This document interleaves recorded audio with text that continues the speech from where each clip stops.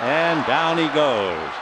So Spilborghs strikes out, but the Rockies get close. They get one and lead three. And we're heading for the ninth, 8 7 Dodgers.